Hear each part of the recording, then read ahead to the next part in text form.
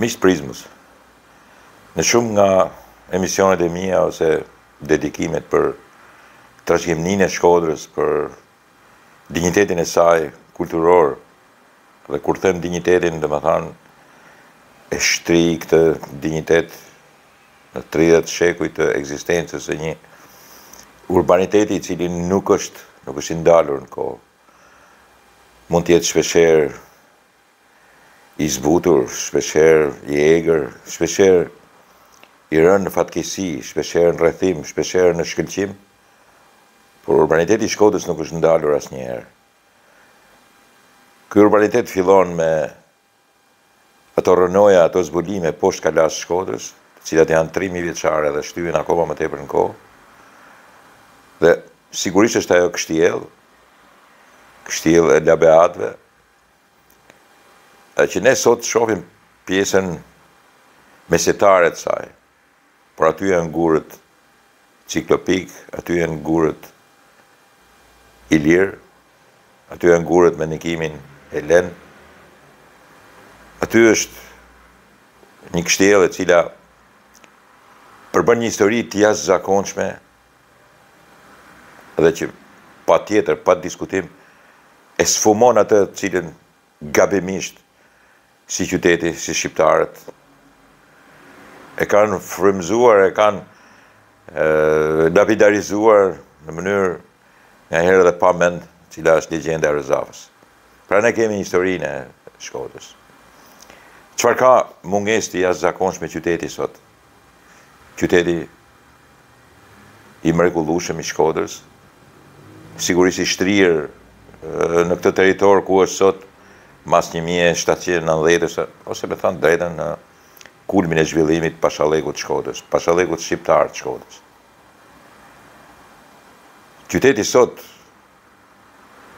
Ka një mungesë të jashtëzakonshme të evidentimit të historisë. Të evidentimit të historisë së antikitetit, mesjetës dhe modernitetit. Por sot duhet të them që çfarë i mungon në piedestal mas shumë e shumë emisionesh, edhe këtë emision, edhe këtë klip për këtë e kam më tepër Më tepër jo vetëm të klasifikuar si mendim filozofik për nderimin e qytetit, po dhe si mendim urban, çfarë i mungon qytetit. Dhe po e filloj me një aspekt aspak të ndershëm dhe aspak të mirë të qytetit.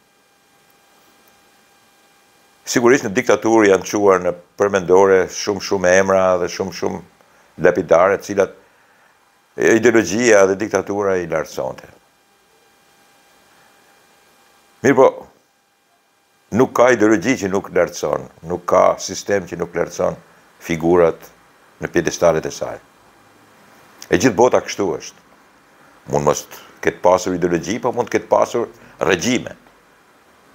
Të gjitha regjimet çojnë në filozofinë e tyre, në politikën e tyre dhe piedestalet e tyre.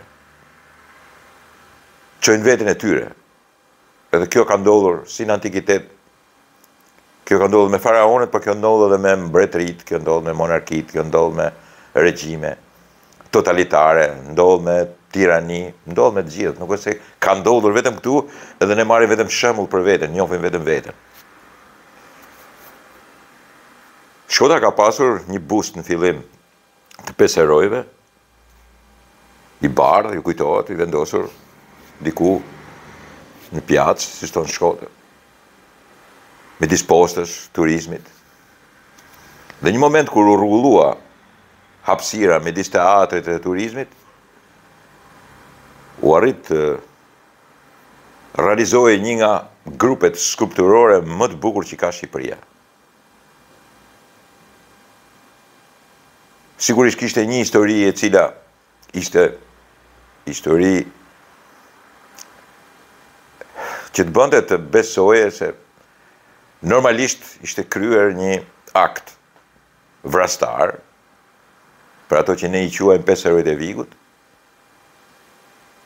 Dhe që historianografia e regjimit e komunizmit, këta pesë djem të cilët u vranë, mbase edhe pabesisht, që nuk meritonin të vriteshin, për çfarë duhet të ishin vrarë. Ju ndërtoi edhe atë grup, masi bëri dhe filma, bëri dhe poema, I ndërtoi edhe atë grup. Po në vetvete grupi skulpturor, nga tre skulptorët më të mirë që ka njohur historia e asaj kohe, por që vijnë në rrezatim edhe në këtë kohë, u arrit të realizohej një diçka madhështore, rreth pesë metra e lartë, edhe u vendos aty. U konsiderua që u vendos ideologjikisht, i bëri ideologjia. Pastaj filluan edhe diskutimet dhe me ardhjen e demokracisë, sigurisht, filluan edhe fjalët, ç'lidhje kanë peserojt me ne, këto janë komunista, ato kanë ardhur dhe shkuan atje të përhapin komunizmin, prandaj vajtën fjalë të tilla të cilat janë turp t'i diskutosh sot e kësaj dite. Dhe sigurisht u mor një vendim që t'i largonin prej aty, edhe nuk kam nevojë t'ju tregoj atë kalvarin se ku shkoi ai grup fantastik skulpturor. Në fund të fundit ata pesë djem u vranë. U krye një krim ndaj tyre. Ata nuk vranë. U vranë prej të tjerëve. Edhe në qoftë se kanë dashur të përhapin ideologjinë komuniste. Ata që i vrasin çfarë janë? Nuk po i hyj sepse nuk dalim kurrë. Po tregoj kalvarin që pësoi një grup fantastik përmendore fantastike skulpturore, e cila normalisht, normalisht ka edhe konceptin e një qyteti të madh. U vendosën aty, u hoqën prapë. U hoqën edhe zgjatën i çuan deri ke varrezat, aty hidhën edhe plera, ke varrezat e dëshmorëve. Shetiti ai grup skulpturor gjithkund, përfundoi tashi midis Shkodrës edhe edhe edhe Koplikut. Tashi aty ka mbetur është ngritur një shatrivan. Ky shatrivan ka disa tuba dhe e qujnë tubat, dhe sot e kësaj dite Shkodra thotë ke peserojt, dikush ka filluar të thotë tubat. Është një vepër arkitektonike e cila ka disa tuba që i nxjerrin ujë. Ka dhe një marrëzi tjetër brenda për brenda ajo pikë, ai rrumbullak, sepse ka vendosur dhe stola për të për të qëndruar njerëzit, se si do ta presin njerëzit rrugën aty, nejse. Nuk dua fare që ta diskutoj sepse është ndërtuar pa mend. Ky është opinioni jem. Tashi në qoftë se thotë dikush tjetër që është me mend e vendosura ajo Pjesa pushuese aty e stolave ku ti nuk ke mundësi për të kaluar në presësh rrugën, nuk lejohet të presësh rrugën, është e ndaluar, le ta thotë, por unë e konsideroj gjë pa mend. Çfarë do të thotë të hedhësh ujin përpjetë? Çfarë prezanton për Shkodrën disa tuba që hedhin ujin përpjetë? Shpeshherë i bëj fotografi dhe janë tubat, është kulla pa xhet, Saati i Inglizit është kryqi i lartësuar mbi kampanjelin e fretenve dhe janë dy minaret e xhamisë. Ç'hyjnë tubat në modernitet? Kë përfaqësojnë në një qytet që ka prodhuar kaq shumë histori sa ka Mezi e mban historinë e vet, në një moment të cilën e ka harruar ose keqpërdorur, sidomos këto tridhjetë e tre vjet. Pra ato nuk përfaqësojnë asgjë historike dhe kanë zënë vendin më ekskluziv në qytet. Një rrotullim fantastik duke hequr një grup skulpturor nga më të bukurit që është kam parë ndonjëherë. E hoqën. Thonë që e kanë vendosur politikisht, dakord e kanë heq po politikisht. Por kjo punë është kryer tashmë. Kush është propozimi im? Propozimi im është që ato tuba bashkia e nesërme duhet t'i largojë duke duke i bërë thirrje dhe duke zbatuar një projekt i cili mundet të kushtojë shumë, por nderon Shkodrën. Shkodrës, në piedestalet e saj i mungojnë antikiteti dhe dinjiteti i saj historik. Shkodrës i mungon Agroni, dyqind e pesëdhjetë dyqind e tridhjetë e një para erës së re, Teuta, dyqind e tridhjetë dyqind e njëzet e tetë para erës së re, i mungon Genti, njëqind e gjashtëdhjetë e nëntë para erës së re. Tre mbretërit, Agroni, prijësi i Ardianëve që pushtoi jashtëzakonisht fiset e tjera, duke i sunduar ato, dhe një prej tyre fiseve ishin dhe Labeatët, dhe vendosi që të jetë Shkodra kryeqendra e tij, nga e Labeatëve e Ardianëve. Teuta, një nga gratë e tij që i rriti Pinejnë, Dhe Genti, një nga njerëzit më të fuqishëm, me një shtet të jashtëzakonshëm, dhe që të tre kanë përballur superfuqinë më të madhe të kohës, Romën. Kanë bërë luftra Kanë krijuar urbanitet, i kanë dhënë lavdi Shkodrës. Janë tre mbretërit e Shkodrës. Kryeqendra ilirike e kësaj periudhe të jashtëzakonshme me tre mbretërit e mëdhenj Agron, Teuta dhe Gent është lavdi e jona. Janë me dhjetra luftime, janë liburnet, kanë shkruajtur të gjithë duke interpretuar mirë, duke interpretuar keq, duke sunduar si fise të tjera ilire po ashtu edhe më gjerë, duke filluar nga Bosnja, sundimi duke përfunduar në Kërkyrë, Duke pasur një mbretëri të jashtëzakonshme me kryeqendër Shkodër. Dhe të tjerët nuk kanë asgjë, e sajojnë, ne kemi tre mbretër të jashtëzakonshëm. Sundimtarë të jashtëzakonshëm, ilirë, të përballur me Romën, Dhe nuk i kemi në një piedestal. Janë tentativat, sigurisht, të skulptorëve fantastikë tanë, një prej miqve të mi, Ferid Kola. Nuk kemi për shembull një piedestal të Agronit. Kemi Teutën e dizenjuar fantastike dhe Gentin gjithashtu. Po nuk kemi tre Përmendore të mëdhaja të këtyre sundimtarëve dhe mbretërve antikë të Shkodrës, që demonstrojnë Shkodrën e jashtëzakonshme, me çfarë ia paraqesim turistave, me çfarë ia qesim vetes, fëmijëve tanë?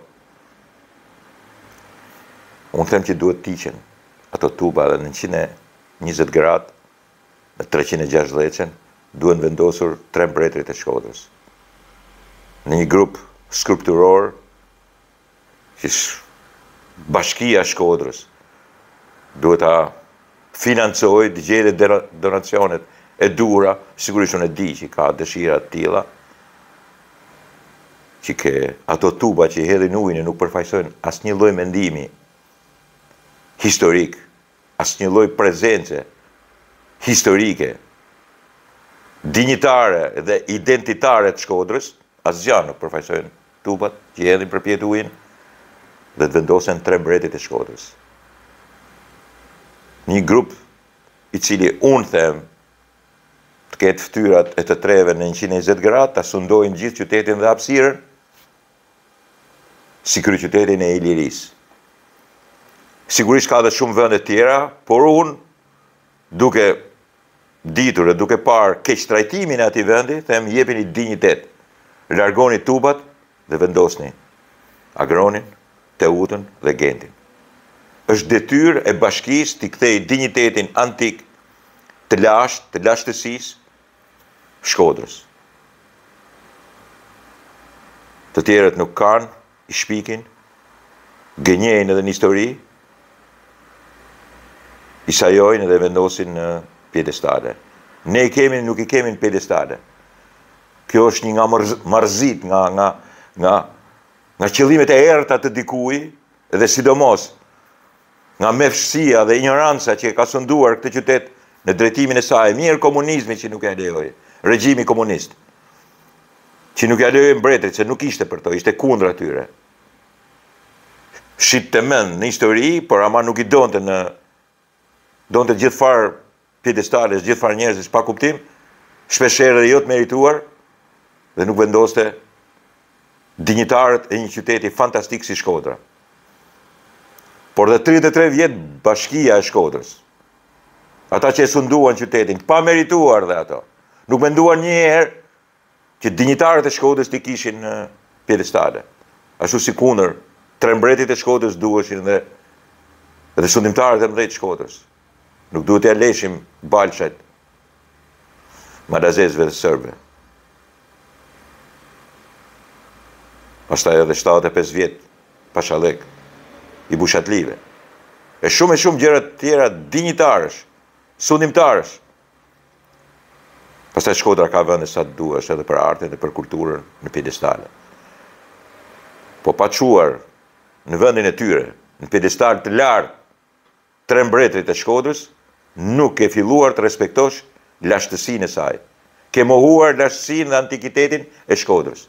Këto nuk janë fjalë pathosi historik. Këto janë fjalë të vërteta dhe të vërtetën duhet ta shohim në sy, mos ta marrim inat. Siç e kemi marrë inat historinë dhe kemi respektuar legjendën. Kemi ngritur një legjendë aspak shqiptare, aspak shkodrane, por të huaj dhe kemi ulur, kemi harruar dinjitetin tonë që përfaqësohet nga Agroni, Teuta dhe Genti. Propozimi im është i kollajtë fare. Largoni tubat, shpallni konkursin, vendosni një shifër të mirë dinjitoze dhe realizoni grupin skulpturor nga më të bukurit që mund të bëhet dhe këtu ka artista si të vjetër dhe të rinj për ta realizuar atë. Dhe të krenohemi Si ne, si fëmijët tonë, nipat tonë, por dhe të huajt që vijnë në Shkodër. Kjo është detyrë, sipas meje, e bashkisë së nesërme, e cila, në mendimin tim, ka filozofinë, mendimin për t'i kthyer dinjitetin Shkodrës. Është nderin dhe detyrën e saj.